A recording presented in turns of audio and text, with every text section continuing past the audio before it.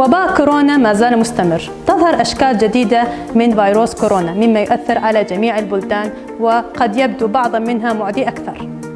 يمكنك أن تصاب بفيروس كورونا حتى لو كنت مصابا بها من قبل. لهذا يجب ارتداء الكمامة إن أمكن ذلك. يجب عليك استخدام الكمامة بشكل صحيح وإلا فقد تصاب بكورونا أو تنقله إلى شخص آخر.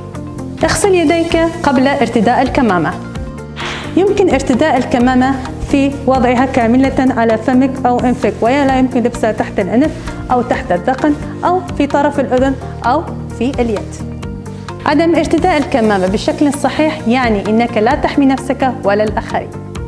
لا تلمس الكمامة بعد ارتدائها بيدك. في حالة تلامس يجب غسل اليدين بالماء أو الصابون. يتم خلع الماسكة من طرف جانبيها وبعدها يمكن غسل اليدين بالماء والصابون. الكمامة التي تستخدم مرة واحدة قم باستخدامها مرة واحدة فقط ثم قم برميها في سلة المهملات. لا تترك كمامتك في مكان يمكن أن تتسخ فيه ولا تشاركها مع شخص آخر. إذا كنت تستخدم كمامة من القماش فقم بغسلها يوميا بالماء الساخن والمنظفات.